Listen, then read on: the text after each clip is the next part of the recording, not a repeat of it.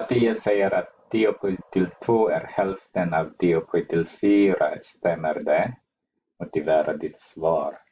Okay, det finns två sätt du kan göra. Du kan dividera 10 upphöjt till 4 med 2.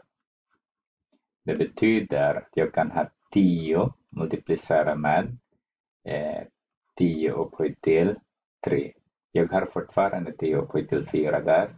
Dividera med 2. Nu kan jag dividera den med 2, så har jag 5 där och jag har 1 där. Så har jag 5 multiplicera med 10 upphöjt till 3.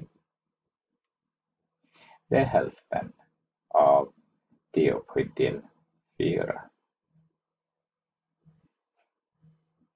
Det annat sätt är att du ska dividera 10 upphöjt till 4 dividera med 10 upphöjt till 2. Om du får en 0,5 eh, då är det rätt. Men om vi har 10 upphöjt till 2 multiplicerar med 10 upphöjt till 2 dividerar med 10 upphöjt till 2 så får vi den här blir 1 så har vi 10 upphöjt till 2. Vi fick inte hälften så det betyder att det här är